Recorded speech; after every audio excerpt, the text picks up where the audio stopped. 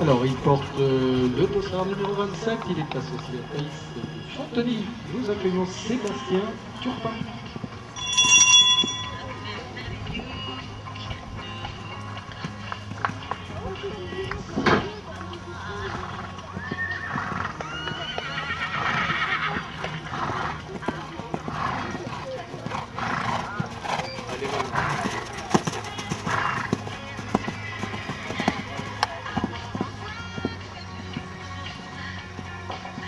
Okay.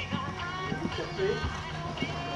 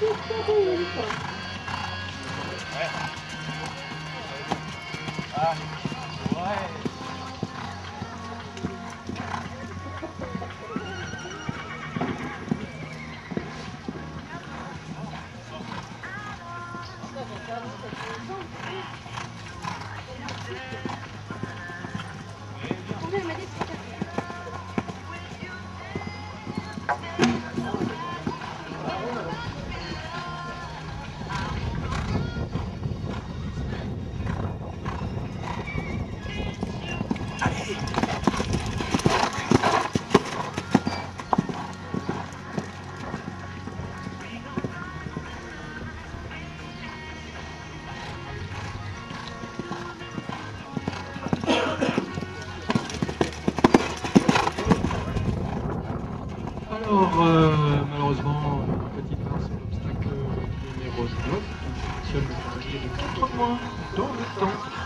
Euh.